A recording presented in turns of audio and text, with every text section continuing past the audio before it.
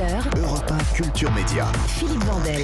Vous êtes toujours dans Culture Média en compagnie de Nicolas Maury, chanteur, réalisateur. On parle de son single Prémisse et on va mieux vous connaître avec le portrait pré-fame de Lisa Marie Marquez. C'est le portrait de notre célébrité avant sa célébrité. Bonjour Lisa Marie. Bonjour Philippe, bonjour Nicolas Maury. Vous êtes acteur mais également scénariste, réalisateur et désormais chanteur. Mais comment en êtes-vous arrivé là? On va rembobiner et revenir sur ce qui vous est arrivé avant d'être célèbre. Nicolas Maury, vous êtes né à Limoges et vous avez grandi à Saint-Thirier-la-Perche en Limousin. Enfant, vous êtes doux, calme et sensible, un petit garçon toujours gentil qui vous vaut le surnom affectueux de chiffon de la part de votre maman. Vous D'où êtes- d'où le titre du premier film, Garçon chiffon. Exactement. Vous êtes donc un enfant sage qui prend peut-être un peu tout à la lettre, comme lorsque votre maman vous demande un jour de ranger votre chambre ou bien elle brûlera tout. Vous prenez ça au premier degré et vous mettez le feu à vos affaires dans le placard, je crois. Non. Si, si, j'étais fasciné par le feu, donc euh, je suis pyromane. Attention à Europe 1. Si, voilà. Même premier degré. J'étais en train de regarder s'il y avait un extincteur dans le, dans le studio. Tout va bien, Ouais, Philippe tout va bien. Même premier degré lorsque vous entendez votre maman parler de briques pour parler d'argent. Elle appelle d'ailleurs la banque le mur magique. Un jour, vous apercevez des briques, mais des vraies, cette fois-ci à un arrêt de bus, et vous lui dites qu'elle peut aller les chercher. Voilà, c'est ça. Et Oh j'étais même allée le chercher avec mon petit vélo. euh, et je me dis, mais maman, si il manque de l'argent, il y a des briques sur l'abribus et tout. Et donc j'étais montée, j'étais revenue avec deux briques. Et pareil, pour, vous allez me sortir l'huile de coude aussi. Ah non, ah bah, Non.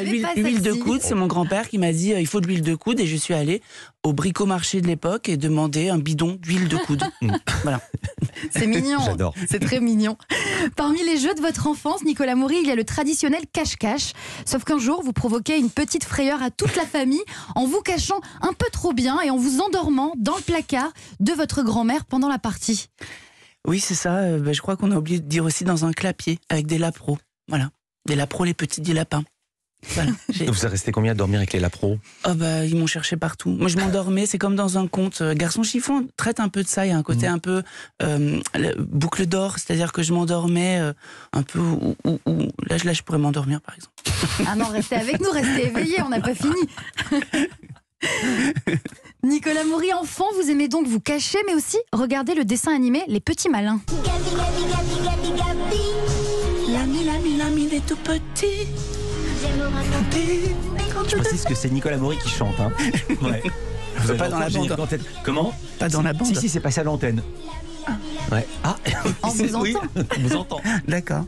Dans un tout autre registre, vous regardez un jour en cachette le film Le bal des vampires de Roman Polanski. On entend la bande originale. Vous vous cachez, je crois, pour regarder le film en même temps que votre papa. Et ce film vous marque beaucoup, c'est ça? Oui, euh, ce film m'a énormément marqué parce que il y avait, ça condensait que des êtres hyper fous, des vampires, des trucs en, en, en, en technicolor. euh. J'ai adoré ce film. Nicolas Maury, passons à la musique. Dans votre manche disque, vous écoutez Elsa. Ah, c'est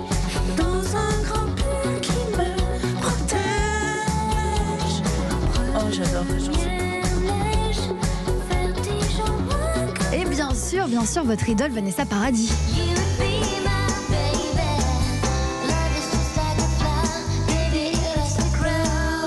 Ça, c'est la période Lenny Kravitz. Avec Lenny Ouais. Kravitz, oui. Magnifique. Bon, ça, c'est pour la musique. Côté saveur d'enfance, votre Madeleine de Proust, ce sont de vraies Madeleines, les Madeleines bijoux Ah de ouais votre ville de Saint-Thierry-la-Perche. Et on en a ici, dans ce studio pour vous, Nicolas. C'est notre petite surprise, voilà. Des Madeleines bijoux pour vous. Ça m'émeut vachement, j'ai envie de pleurer. C'est vrai, mais oui, vous êtes en larmes. Mais Vous avez les larmes aux yeux. Mais non, mais c'est pas possible. C'est- C'était vraiment mes 4 heures et tout. Oh là là. j'en- Et, et on faisait ça, on les faisait péter. Je- Allez-y. Voilà. Ah ouais. Mais c'est magnifique, j'ai l'impression de recevoir une palme d'or en fait. Oh, bah dis donc.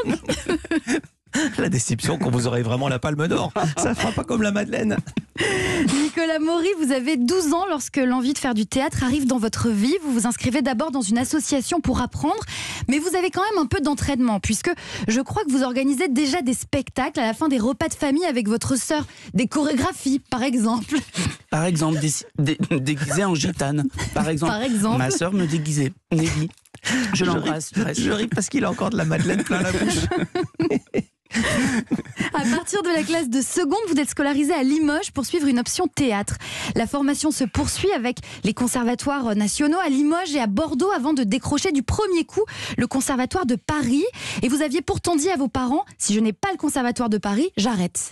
Oui, parce que pour moi, mes parents étaient tellement permissifs et euh, ils sont pas du tout de ce milieu. J'ai trouvé ça vraiment assez génial et, beau qu'ils me laissent euh, faire cette destinée d'acteur. Et je m'étais dit, euh, je veux la meilleure école pour euh, les presque, même pas pour moi, mais pour le- leur dire, vous savez, euh, vous avez pas fait qu'un vilain petit canard, euh, il peut devenir un petit cygne. Vous vous installez donc à Paris dans une chambre de bonne au dernier étage d'un immeuble et c'est au théâtre que vous débutez, notamment dans les créations de Robert Cantarella, avant de passer au cinéma. Vous jouez le prof de français dans le film Les Beaux Gosses de Riyad Satouf, vous apparaissez aussi dans les films de Yann Gonzalez, Les Rencontres d'après-minuit et Un couteau dans le cœur où vous donnez la réplique Vanessa Paradis, votre idole.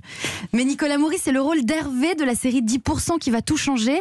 Hervé, l'assistant culotté et attachant de l'agent Gabriel Sarda, emporte tout sur son passage, en particulier le cœur des téléspectateurs. Et il vous révèle surtout au grand public. La suite, on la connaît. Et moi, je m'arrête là. Merci. Merci beaucoup, Lisa Marie Marquez. Merci. Puis merci pour ces madeleines. Qu'est-ce qu'elles ont de spécial, à part qu'elles rappellent votre enfance? Elles sont très bonnes. Si, on a goûté hier, toute l'équipe a goûté. C'est vrai. On avait un deuxième paquet. On n'a pas, on n'a pas touché celui-ci qui est à vous. Bah, ce qu'elles ont de spécial, c'est, je sais pas, euh, c'est, c'est- alors c'est dingue parce qu'effectivement Madeleine de Proust et tout, mais c'est vraiment cette odeur particulière. Alors celle-ci, c'est les plus industrielles. Il y en a d'autres, qui s'appellent les Madeleine bébé. Alors elles ont gagné le concours d'Europe, elles sont de Saint-Thierry-la-Perche aussi, et, et voilà. Enfin, je fais de la pub pour eux. Madeleine Bijou, Madeleine Bébé. voilà. Je viens de découvrir qu'il y avait un championnat d'Europe de la Madeleine. J'aurais jamais Ah pensé. Merci, Lisa Marie Marquez. Nicolas Maury, reste avec nous. On va rester dans la gastronomie. On va parler de Simplissime. On va parler de l'Ukraine. Il y a Jean-François Mallet qui nous rejoint. À tout de suite.